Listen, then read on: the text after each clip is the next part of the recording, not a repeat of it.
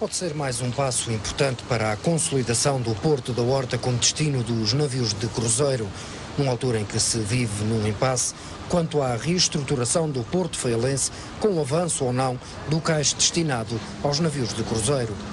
O Seven Sea Voyager tem 207 metros de comprimento e 46 mil toneladas e é o maior navio de cruzeiro que atracou no Porto da Horta.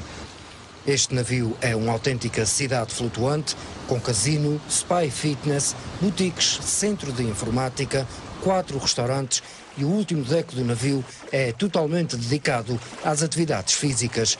O Seven Sea Voyager tem uma tripulação de 447 elementos e capacidade para 700 passageiros. Este navio, registado nas Bahamas, foi construído em Gênova, Itália. Pertence à empresa Regent Seven Seas que, para além deste, possui mais quatro navios idênticos. A título de curiosidade, uma viagem a bordo deste navio com saída da Horta e chegada a Barcelona para seis dias de viagem custa à volta de 2 mil euros.